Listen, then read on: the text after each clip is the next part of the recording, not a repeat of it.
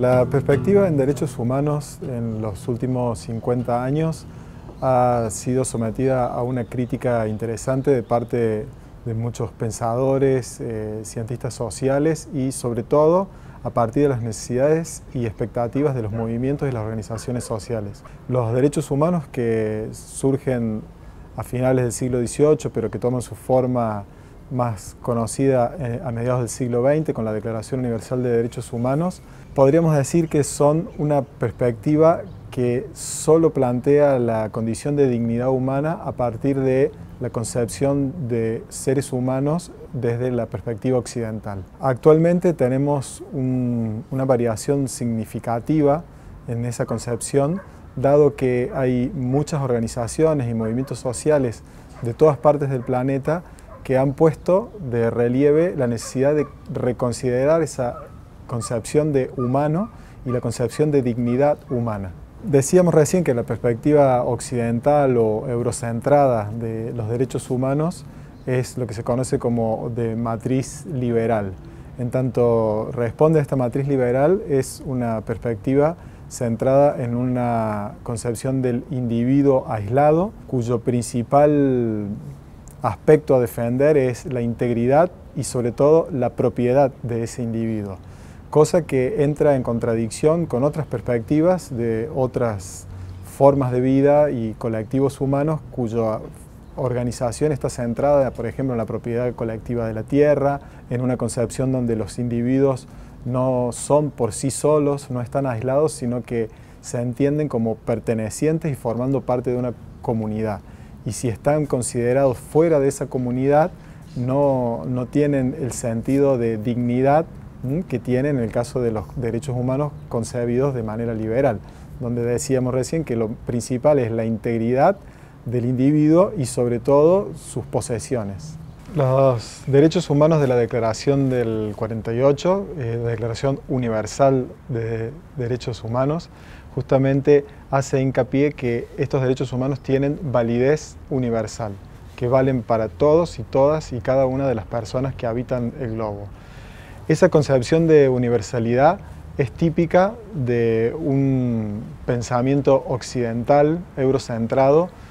y no es más que una concepción particular de esa región del planeta, que pretende hacerse valer como universal. Entonces, si bien podemos reconocer en esta universalidad de los derechos humanos una herramienta que nos sirve y nos, sigue sirviendo para eh, luchas emancipatorias, para defensas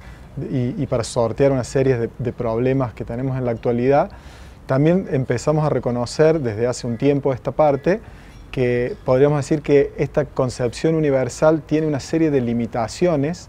y sobre todo genera una serie de imposiciones de modelos respecto a la defensa de los derechos de los colectivos y de las personas que hacen que contradictoriamente estos derechos humanos universales en muchos casos terminan avalando situaciones de neocolonialismo, de imposición de formas de vida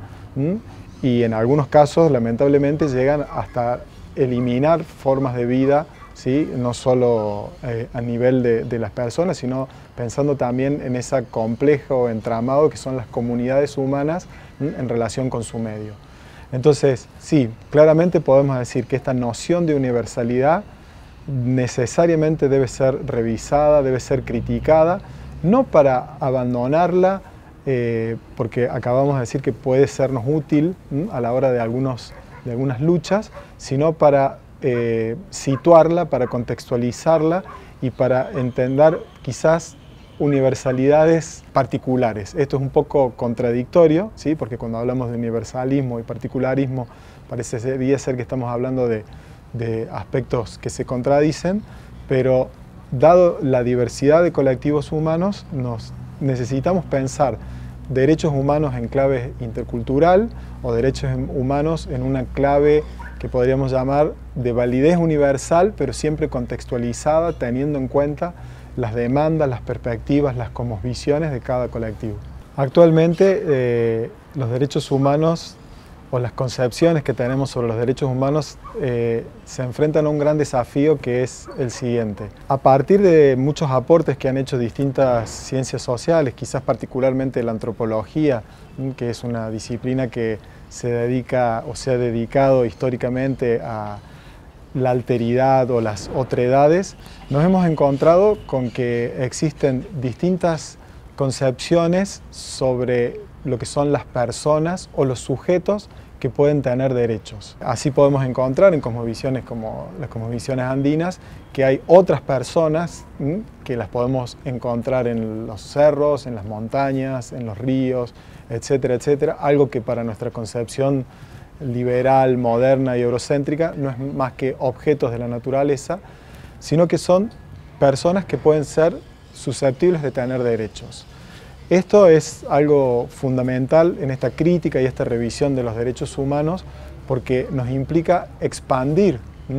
ese círculo de atribución de derechos. Esto no es algo que es un aspecto meramente teórico, ya existe,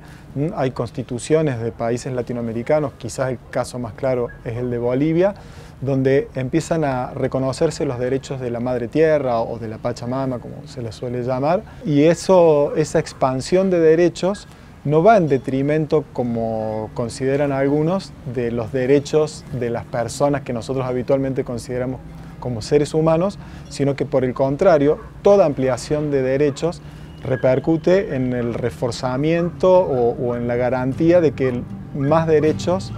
a más personas, a más colectivos sean respetados.